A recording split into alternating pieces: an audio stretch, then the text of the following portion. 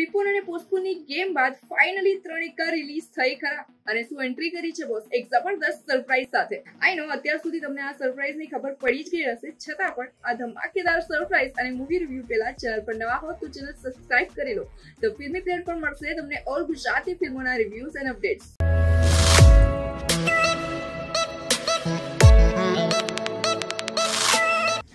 પહેલા જ એ જબરદસ્ત સરપ્રાઈઝની એન્ટ્રી થાય છે. મતલબ કે ત્રણ એકાને તડકો લગાવવા ડેની જીગરનું તડકતું ભડકતું ટીઝર રિલીઝ કરવામાં આવ્યું છે. નસીબ કહો કે હાર્ડવર્ક મતલબ કે પોતાની એક ફિલ્મ રિલીઝ થાય છે અને એ જ ફિલ્મના રિલીઝ પર પોતાની નેક્સ્ટ ફિલ્મનું ટીઝર યસ તુસી તો છા રહ્યો. કહેવાય છે કે નસીબની રેખા હાથ પર હોતી નથી, તેને બનાવવી પડે છે.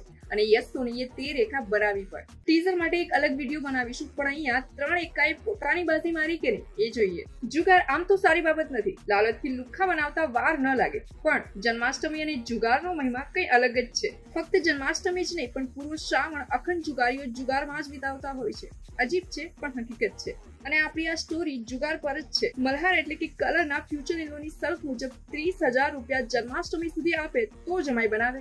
સાબાસ બીજી તરફ યસ એટલે કે કબીર જે એક જબરદસ્ત જુગારી છે. પણ ગર્લફ્રેન્ડને પ્રોમિસ આપ્યું છે કે આજ પછી જુગાર નહીં રમે. પ્રોમિસ આજથી જુગાર બંધ. અને મિત્ર એટલે કે ભોળો ભાર્ગવ જે એક સંસ્કારી સીધો સાધો છોકરો છે. વેલ કલરનો કલર તો તેના ફ્યુચર ફાધર ઇન લોએ કરી જ દીધો છે. પણ ભાઈબંધ એમ થોડી કલર થવા દેશે. ત્રણે મળીને કલરનો કલર બચાવવા, મતલબ કે કલરનો પ્રેમ બચાવવા, જુગારથી પૈસા જમા કરવાનું વિચારે છે. અને આ પ્લાનમાં જે પણ લોકોની એન્ટ્રી થશે જે ટ્વિસ્ટ અને ટર્ન્સ આવશે, એ બધી સિચ્યુએશન તમને હસાવાની ગેરંટી આપશે. સૌથી વધુ જે કેરેક્ટર મને ગમ્યું એ છે કલર. એક હોય છે ને કે અમુક કેરેક્ટર પર્ટિક્યુલર વ્યક્તિ સારી રીતે નિભાવી શકે. ટિપિકલ કોમેડીનું જેની પર ટેગ લગાવો છો ને, એ જ એક્ટર છે જે સિરિયસ સિચ્યુએશનને પણ કોમેડી સાથે પ્રેઝન્ટ કરી. એ સિચ્યુએશનની ફીલ અને ફેસ પરની સ્માઇલ બંને એકી સાથે આપશે.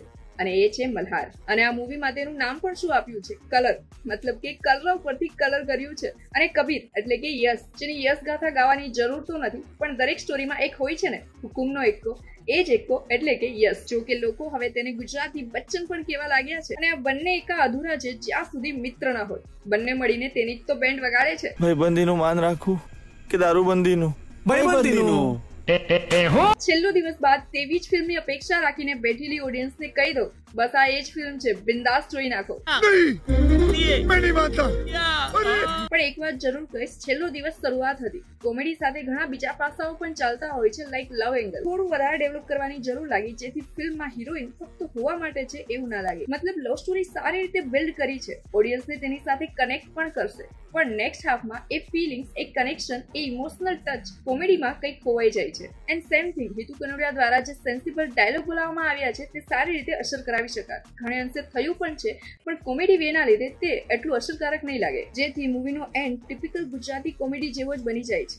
આઈ નો ગુજરાતીઓને આવો જ એન્ડ ગમે છે, પણ કંઈક અલગ ટ્રાય કરવાની જરૂર છે, જેથી ટિપિકલ કોમેડીનું ટેગ હટાવી શકાય. ઓવરઓલ ગુજરાતીઓ માટે જબરદસ્ત, જોરદાર ઝકાસ મૂવી છે. ફેસ્ટિવલ વગર બોલિવૂડની મોટી ફિલ્મો વચ્ચે ત્રણ એકાએ પોતાની જગ્યા બનાવી છે. એ જ મોટી જીત છે ગુજરાતી ફિલ્મો માટે. જો કે ગદ્દર ટુ અને ઓએમજી ટુ ના ક્લેશ વચ્ચે આ ફિલ્મ રિલીઝ થઈ છે. છતાં પણ ફર્સ્ટ ડે કલેક્શન એક crore. And same day Dream Girl પણ રિલીઝ થઈ. છતાં પણ ત્રણ એકાએ પોતાની જગ્યા જમાવી દીધી. એન્ડ વીકેન્ડ પણ ત્રણ એકાની ગેમ ફૂલ ઓન રહી. અને આ જ ફિલ્મ જન્માષ્ટમી પર રિલીઝ થઈ હોત તો કલેક્શનના આંકડા કડક હોત. ગુજરાતી ફિલ્મના રેકોર્ડ પણ તોડ્યા હોત. જો કે આ ત્રણ એકાની ગેમ લાંબી ચાલવાની છે ફેસ્ટિવલ સુધી. તમે જોઈ કે નહીં ત્રણ એકા? જોઈ તો કેવી લાગી? કમેન્ટમાં શેર કરો મારી સાથે. મળીએ નેક્સ્ટ વિડીયોમાં Bye bye.